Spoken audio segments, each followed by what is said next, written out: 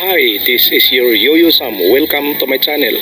To all subscribers and non-subscribers, you are very much welcome. And if you have any comment, just go to the comment section of my channel. And thank you very much. Come on, let's go. Let's bolt in.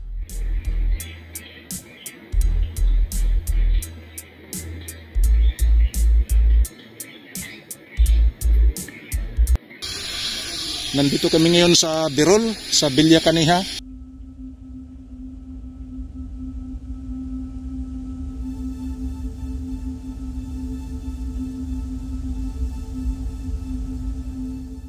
Ito yung farm farmhouse, zipline, siya function, reception office, dragon fruit, poultry, piggery, fish pond, mini pool, rice field greenhouse, tool house, open field garden, comfort room. Ito yun. Mo yung mini rice terraces. Ano sabi niya? Uh, rice Farm. terraces ni namo no Oo.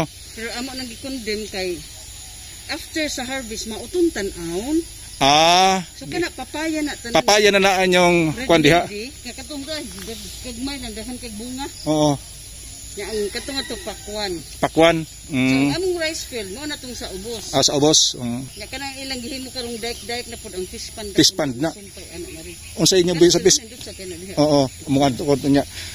Ang inyong zipline, ako unahon to. Tara sa end dito duha na ni kalain ang supply Oh, mini zipline ni siday, mini zipline kay gamay raman no. Di magini para sa uban ko nga dako. Pero nag nag-operasyon ni sa una na oo eh.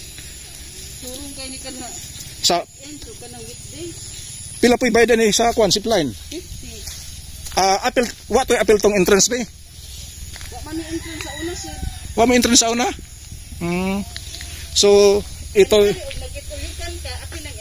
ito yung zipline. Pwede ko musa ka dire? Oh. Ito yung mayroon silang turtle dito sa ah, ilalim ng zipline. Wala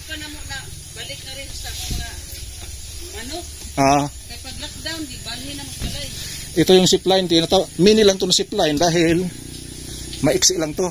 Ito. Simula dito, mayroon silang harness na ginagamit para hindi ma-disgrasya yung mga customer nila.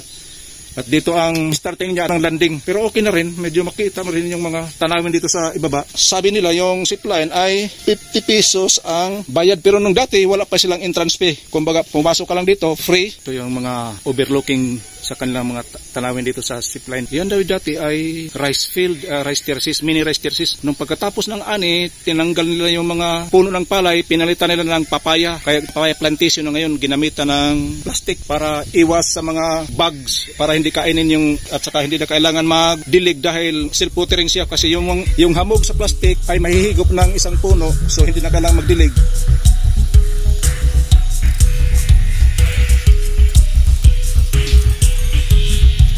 Sa Birol, mayroon silang Eat All You Can and every Saturday and Sunday. Nandito itong locations ang Birol sa Barangay Bilya Kanihan, Valbiliran, Eco Farm,